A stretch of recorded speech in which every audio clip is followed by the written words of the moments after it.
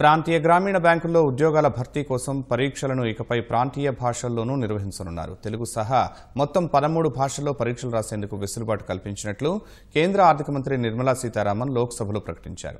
ప్రస్తుతం హిందీ ఆంగ్లంలోనే పరీక్షలు రాసే అవకాశం ఉండగా గ్రామీణ యువతకు ప్రయోజనం కలిగేలా తాజా నిర్ణయం తీసుకున్నట్లు ఆమె ప్రకటించారు.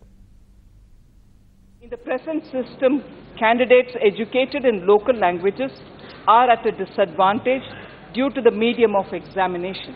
Various references and representations have also been made and received suggesting inter alia to conduct the recruitment examination for RRBs in regional languages.